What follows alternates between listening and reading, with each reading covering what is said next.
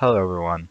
So I didn't come up with a good idea for Valentine's Day, so I designed a heart in Fusion 360. So this heart, uh, this is the 2D sketch here, and it gets extruded out,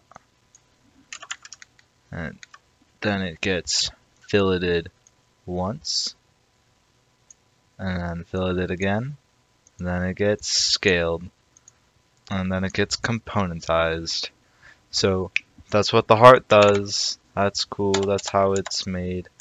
I also uh, rendered it in Blender. So here we have it in Blender. So uh, the heart had to be uh, remeshed. I already applied the modifier so you can't see it. But uh, yeah, you can tell that that's not how Fusion 360 makes their STLs. Uh, so what was wrong is that uh, Fusion 360 put a lot of vertices on the bottom here, which is not what I want. So it looked dumb. It still kind of looks dumb because it didn't remesh all the way, or like it's still a bit weird there. You can see the pattern it's just a weird spot. And Fusion 360 didn't handle it well, and Blender also Blender handled it way better.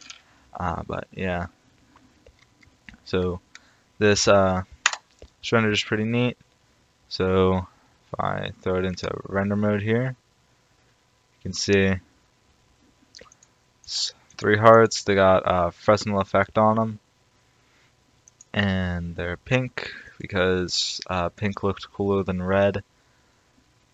And uh, I have a pink area light here too. And then the final render looks like this, showing up in post-processing. And I also 3D printed it. So let's see what it looks like being 3D printed. Wow, I wonder who designed that heart. That looks really good. Wow. Here are the 3D printed uh, parts. So I got three here. So uh, like I thought, the bottom was kind of messy. I printed the first one that supports, the other one that supports. But the supports don't come off very good. So it's a little messy. That could be fixed if I just like made it bigger.